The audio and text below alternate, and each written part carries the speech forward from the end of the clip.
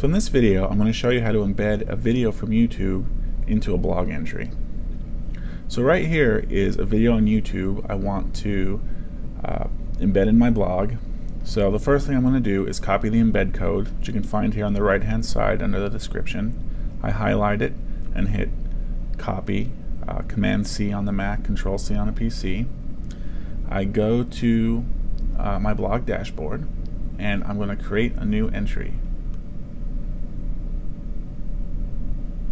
So I give the entry a title.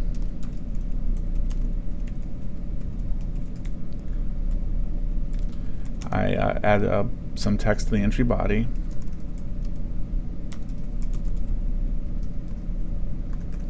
Now I'm going to hit this little icon over here that looks like an A uh, in brackets. That's going to put me in HTML mode so I can see the HTML source uh, of the entry I'm creating and I'm just going to go ahead now and paste that embed code into that body.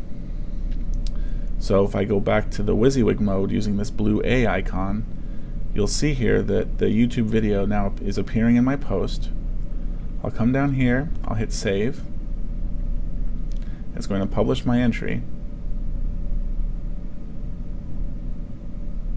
And now if I go and view my entry, you'll see that the uh, blog post is posted and the YouTube video is now embedded in my blog. I can hit play and it starts playing.